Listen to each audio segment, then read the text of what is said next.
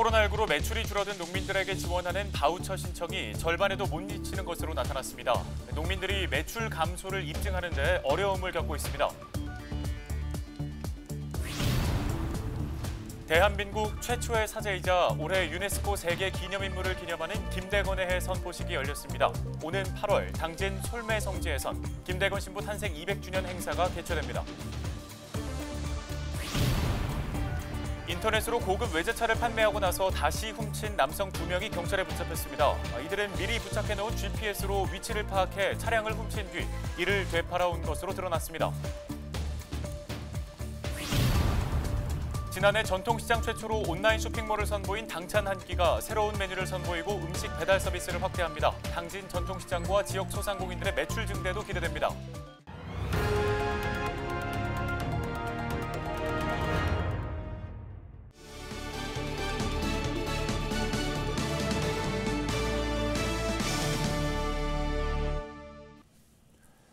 여러분 안녕하십니까? 헬로 TV 뉴스입니다.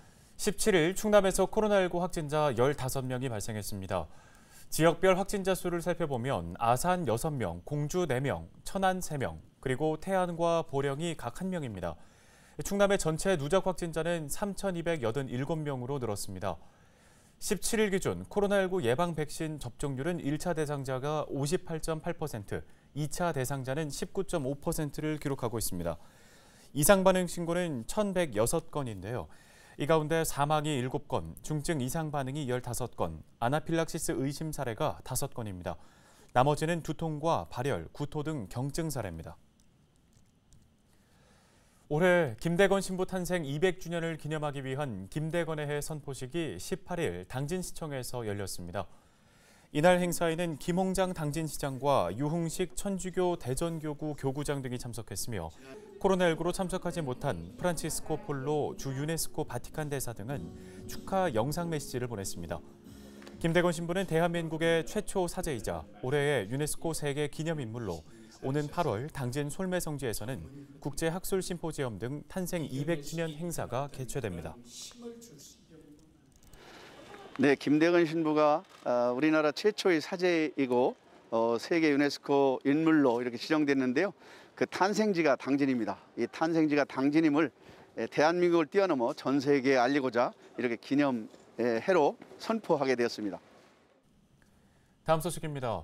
지난해 당진 전통시장이 전국에서 처음으로 온라인 쇼핑몰을 선보였는데요. 이번엔 새로운 식사 메뉴를 개발하고 배달앱을 통한 주민 서비스를 시작했습니다. 네, 당진 전통시장과 지역 소상공인의 매출 증대도 기대됩니다. 정선영 기자입니다. 당진 어시장에 있는 당찬 한 끼 매장입니다. 점심시간이 되자 식사 주문이 들어옵니다. 깻잎 순대볶음 하나, 연어덮밥 하나 맞으세요? 메뉴는 한식과 분식 등 20여 종류로 대부분 당진 전통시장에서 납품한 식재료로 만들어집니다. 배달 주문으로 간편하게 이용할 수 있어 직장인이나 1인 가구 손님들의 반응도 좋습니다.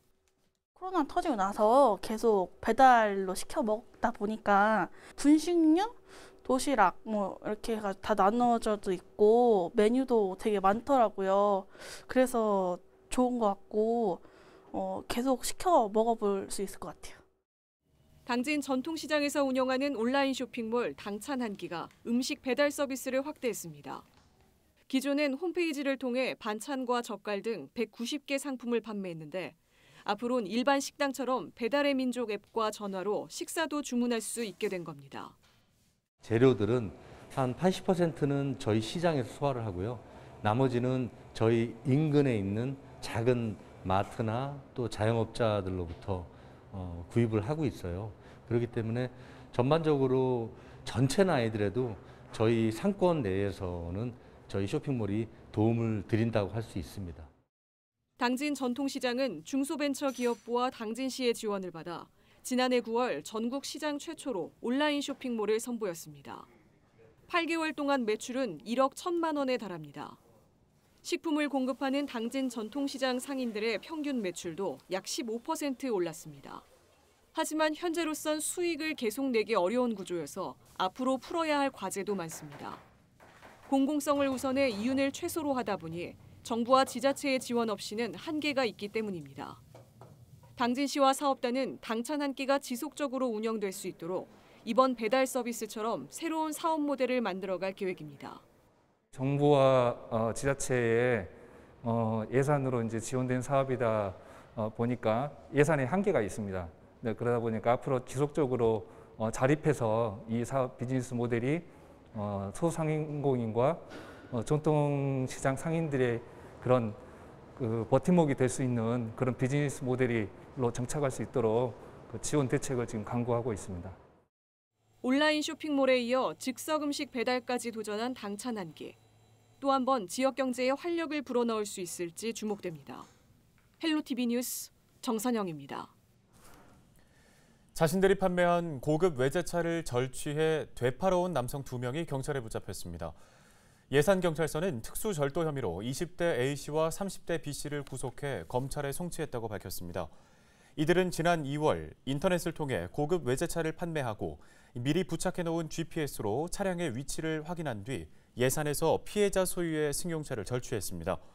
또 이들은 같은 수법으로 부산과 경북 구미 등에서도 외제차 세대를 절취해 되팔아온 혐의를 받고 있습니다.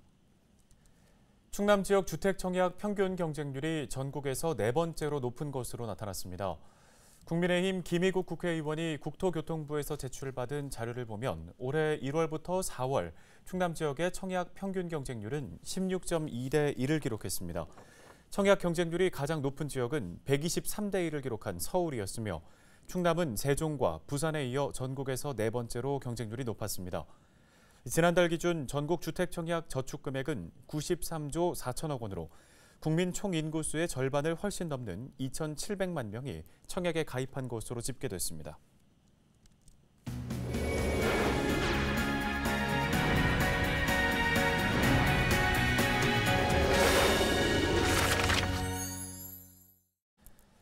코로나19로 매출이 줄어든 농민들에게 지원하는 바우처 신청이 저조한 것으로 나타났습니다. 절반에도 못 미친다고 하는데요. 네, 보도국 취재 기자 연결해서 자세한 이야기 나눠보겠습니다. 자, 김담비 기자 먼저 신청률 어느 정도입니까?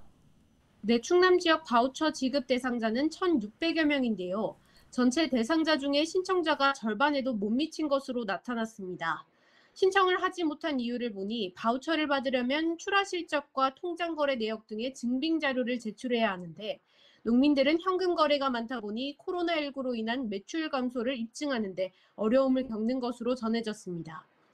또 각종 재난지원금 중복 지급을 차단하기 위해 이를 확인하는 절차가 복잡한 것도 신청률이 저조한 원인으로 거론됐습니다. 네, 상황이 이렇다 보니까 충남도가 지원 바우처의 신청 기간을 좀 연장했다고 하더라고요. 네, 그렇습니다. 충남도가 코로나 극복 영농 지원 바우처 신청 기한을 8월 13일까지로 연장했습니다. 지난 14일까지 신청된 1차분에 대해서는 6월 1일부터, 2차 신청건은 9월 1일부터 바우처가 지급됩니다. 또 신청률을 높이기 위해 학교급식 납품 친환경 농산물 분야는 경영주 본인이 아니더라도 동거 가족이 신청할 수 있도록 기준을 완화했습니다. 네, 어, 얼마나 지원이 되고 또 어디에 지원금을 사용할 수 있는지도 궁금한데요. 네, 우선 지원 대상은 코로나19로 매출액이 감소한 화훼와 학교급식 납품 친환경 농산물, 농촌체험 휴양마을 등 다섯 개 분야 농가입니다. 지급 대상자로 선정되면 농축협을 통해 100만 원 상당의 바우처를 선불카드 형태로 지급받게 되는데요. 바우처는 의료기관과 주유소, 농업 공구 등 다양한 업종에서 사용할 수 있습니다. 아직 신청을 하지 못했다면 가까운 읍면 행정복지센터나 농가지원 바우처 홈페이지에서 신청하면 됩니다. 네, 여기까지 듣겠습니다. 지금까지 보도국 김단비 기자였습니다.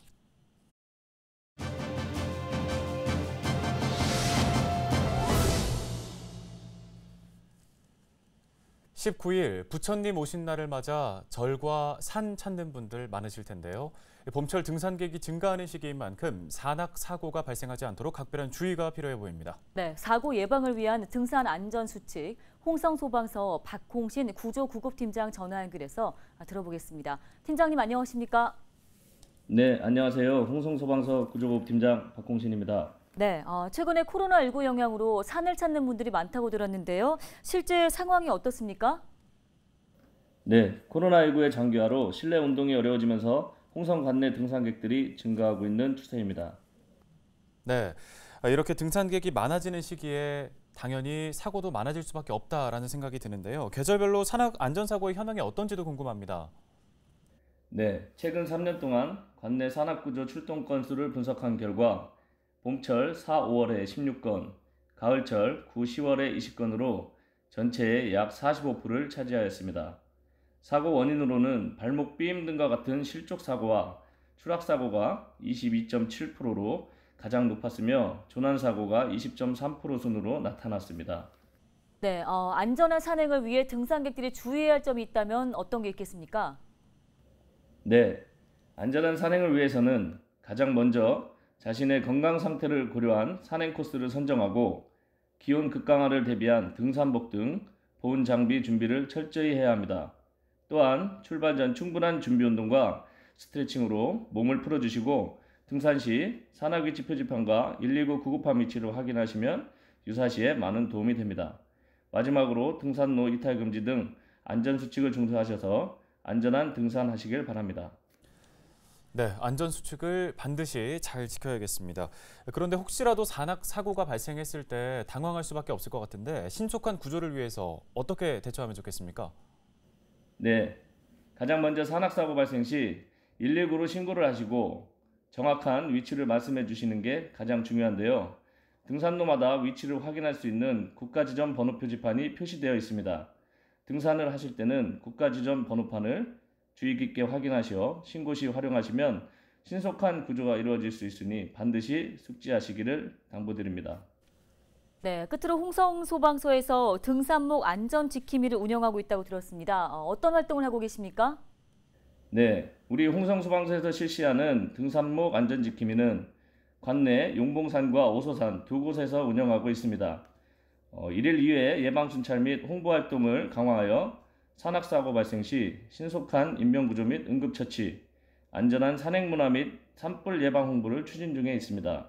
관내 주유산에 대한 내방객들의 안전을 위하여 등산목 안전지킴이 운영에 최선을 다하도록 하겠습니다.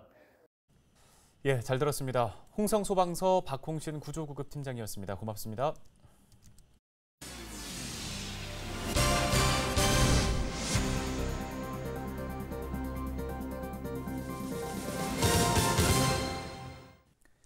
다음 소식입니다.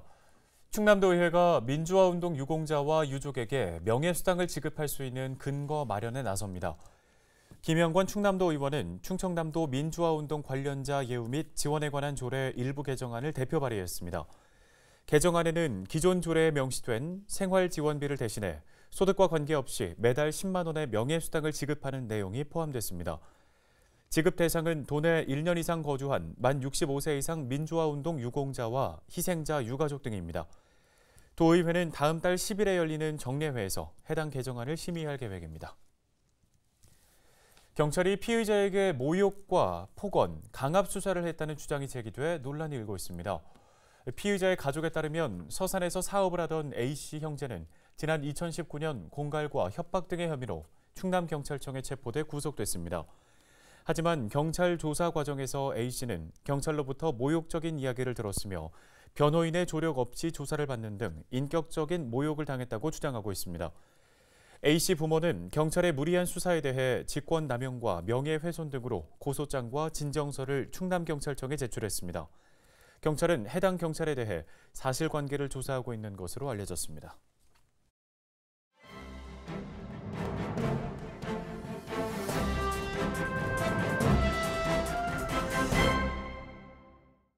AI 아나운서가 전해드리는 신문 브리핑 충청투데이 기사입니다. 서산 대산읍 대중리 1126번지는 현대우이뱅크가 바다를 메워 산업단지 조성을 추진 중인 현대대주기 산단 예정지입니다. 현대우이뱅크는 지난해 매립이 마무리된 대주길 산단에 이어 79만 2065제곱미터 규모의 대주기 산단을 추진 중으로 해양수산부에 공유수면 매립을 신청한 상황입니다. 대주기 산단이 조성되면 서해 어류의 산란장으로 알려진 목섬 앞갯벌은 물론 대산 산단에서 바다로 접근할 수 있는 마지막 진입로도 막혀버립니다. 이날 현장에서 만난 어민들은 대주기 산단 추진에 대해 한숨부터 내쉬었는데요. 앞서 간척 사업으로 조성된 대주길 산단의 경험에 비춰볼 때 인근 해양 환경이 악화될 것이 뻔한 상황에서 또다시 간척 사업을 한다는 것을 납득할 수 없다는 게 주민들의 주장입니다. 함준기 독꽃 어촌계장은 대죽일산단 조성이 본격화되기 전에만 해도 황금산과 목섬 인근 바닷속에는 전복 등의 먹이인 3, 4m 크기의 미역 등 해조류가 무성했는데 매립이 시작한 이후 모두 사라졌다면서 그로부터 1년 후에는 바다 바닥이 모두 백화현상으로 덮여 있었다고 토로했습니다. 그는 이어 인근의 SK건설이 226만 제곱미터 규모의 대산 스마트 에코폴리스 산단을 조성 중이고 독곶에도 다른 정유기업이 개발하려고 했던 약 100만 제곱미터 규모의 산단 부지가 있다며 내륙에도 산단 부지가 충분한데 굳이 간척 사업을 해야 하는지 의문이라고 지적했습니다. 한 어촌계장은 그러면서 결국 독고준 산단에 둘러싸여 산업단지 속 섬이 될 것이라며 우려했습니다. 이날 현장에서 만난 한대산 주민은 대죽일산단은 주민들이 알지도 못하는 상황에서 추진됐다면서 그런데 이 산단까지 추진된다면 앞으로 간척 사업이 계속 추진될 것이다. 다른 기업이 또 간척 사업을 한다면 무슨 명목으로 막겠냐고 포로했습니다. 지금까지 AI 아나운서가 전해드리는 신문 브리핑이었습니다. 다음 소식입니다. 청양군이 충남 최초로 청소년의 날 조례를 제정했습니다. 청소년의 날은 매년 5월 마지막 주 토요일이며 해당 조례는 청소년을 존중하는 사회의 분위기와 청소년 친화 도시 조성을 위해 필요한 사항을 규정하고 있습니다. 군은 조례에 따라 청소년의 날 기념 행사 개최와 청소년상 제정을 추진할 계획입니다. 또 청양군 운영시설에 대한 입장료를 감면하는 한편 관내 문화체육시설 이용권 제공 등 청소년 활동 지원을 확대한다는 방침입니다. 예산군이 코로나19 극복에 동참한 임대인과 소상공인 등을 대상으로 세금을 대폭 감면해 줍니다. 먼저 임대료를 인하한 건물주는 올해 재산세가 75% 감면됩니다. 단 지방세법상 감면이 제한되는 사치성 재산은 해당되지 않습니다. 집합금지 등으로 손실을 본 소상공인의 경우는 충남에서 유일하게 주민세 사업 소분이 전액 감면되는데요. 신청은 군청 재무과 읍면 행정복지센터를 방문하거나 우편으로 접수할 수 있습니다.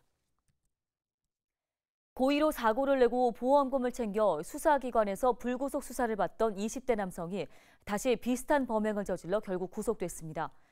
경찰에 따르면 A씨는 지난 1월부터 두 달 동안 충남과 대전, 파주 등 전국을 돌아다니며 고의 사고 34건을 일으켜 보험금 8천여만 원을 받은 혐의를 받고 있습니다. A씨는 2019년부터 당진 등에서 지인과 함께 고의 사고 90여 건을 일으킨 혐의로 검찰에서 불구속 상태로 수사를 받는 도중 다시 보험 사기를 저질러 경찰에 발각됐습니다. 경찰은 A씨가 보험금을 청구하지 않고 피해자와 합의했던 경우를 포함하면 최근 3년 동안 200여 건의 고의 사고를 낸 것으로 파악하고 있습니다. 안전한 먹거리 보장을 위한 서산시 농산물 안전 분석실이 다음 달부터 운영됩니다.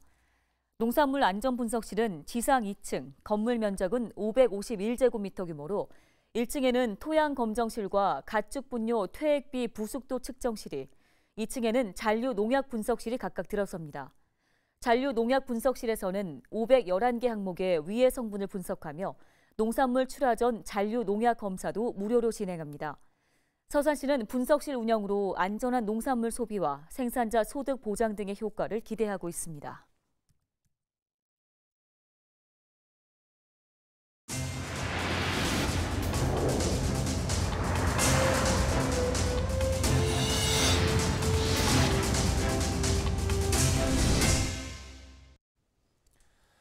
네, 한 50대 경찰관이 아스트라제네카 백신을 맞은 직후 메스꺼움과 오한 등의 증상을 겪다가 16일 만에 사망했습니다. 네, 고인은 평소 건강했고 또 올해 초에 받았던 건강검진에서도 별다른 이상이 발견되지 않았다고 하는데요. 방역 당국이 백신 접종과의 연관성 여부를 조사하고 있습니다. 그런데 인과관계의 여부는 누가 입증해야 할까요? 네, 연관성 입증을 환자나 유가족에게 전가하지 말았으면 합니다. 관계가 없다는 걸 당국이 입증하도록 하고 입증하지 못할 경우 국가가 충분한 보상을 해야 하지 않을까요? 안심하고 예방접종을 받으라고 한 국가가 끝까지 책임을 지는 모습을 보여야 집단 면역을 앞당길 수 있을 겁니다. 네, 뉴스 마치겠습니다. 고맙습니다.